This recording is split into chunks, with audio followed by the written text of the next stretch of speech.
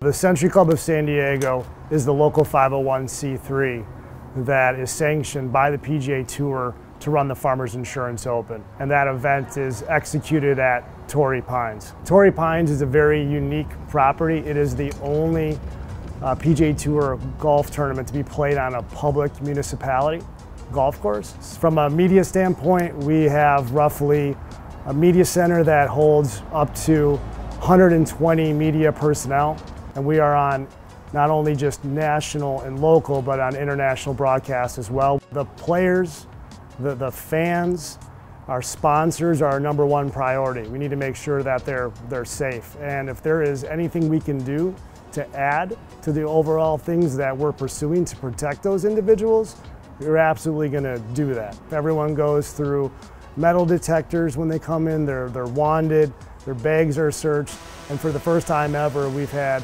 airspace awareness, which was really a great peace of mind. The whole process with SkySafe was extremely simple. Once we signed the contract, within a week, we had it to where we're doing site visits at Torrey Pines, coming out, scouting both golf courses and understanding what needed to be done to actually put in the, the infrastructure or the, the net, if you will, over the Torrey Pines property, we didn't have to make an investment in any hardware and any equipment. It was a one-stop shop. So as a part of that, we worked with both NBC Golf Channel and CBS to actually register their, their drones this year. So then once those drones were actually launched and being utilized at Torrey for the footage for the coverage there, is that they were approved. It was great to have the ability to, to whitelist drones so we could know who was supposed to be there versus who wasn't supposed to be there. With SkySafe, one of the great things was is once a drone was launched, we were actually able to see where that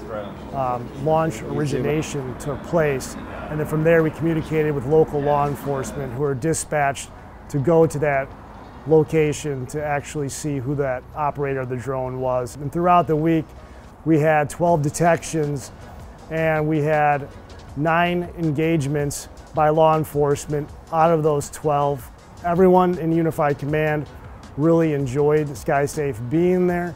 You have the ability to actually see what's happening from what's being launched from a drone standpoint. If someone is potentially going to be dropping something onto their property. Also, too, you have to protect the broadcasting rights. Someone's going up there and actually taking unauthorized footage. That's something also, too, that we're protecting against as well. If you have the ability to do something to further protect your, your fans, your sponsors, the players in this case, you know, why wouldn't you do it? I know that moving forward, SkySafe is going to be part of the Farmers Insurance Open.